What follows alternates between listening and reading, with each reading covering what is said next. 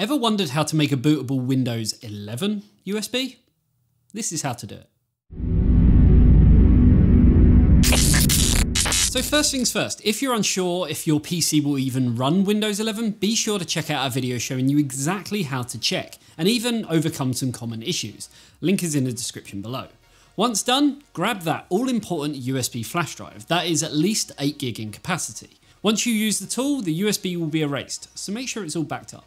Go over to Microsoft.com and download the Windows 11 Media Creation tool. Again, the link is in the description below, which will take you directly to the download. When downloaded, open up the tool and accept the terms and either use the recommended language settings or select your desired language. Once done, choose the USB flash drive and click next. Then select the USB flash drive that you want to use and the media creation tool will work on downloading, verifying and creating your Windows 11 media. When it's completed, which could take a few minutes depending on the speed of your PC, internet and USB flash drive, it will be safe to remove and use. Once you put the Windows 11 USB into the PC that you want to use it on, it should automatically start booting from it. If it doesn't, you may need to change your boot order within the BIOS. Once booting, you can follow the prompts to get Windows 11 installed and you're done.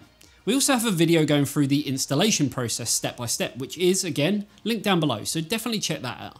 If you're not quite ready for Windows 11 and want to know how to do this for Windows 10, we do also have a video for that, so make sure to check that one out.